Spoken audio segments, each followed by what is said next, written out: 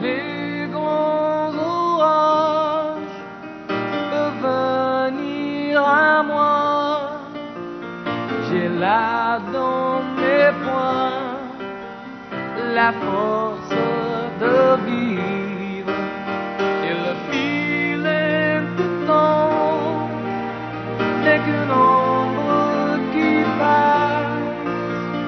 voilà le présent que je regarde en face.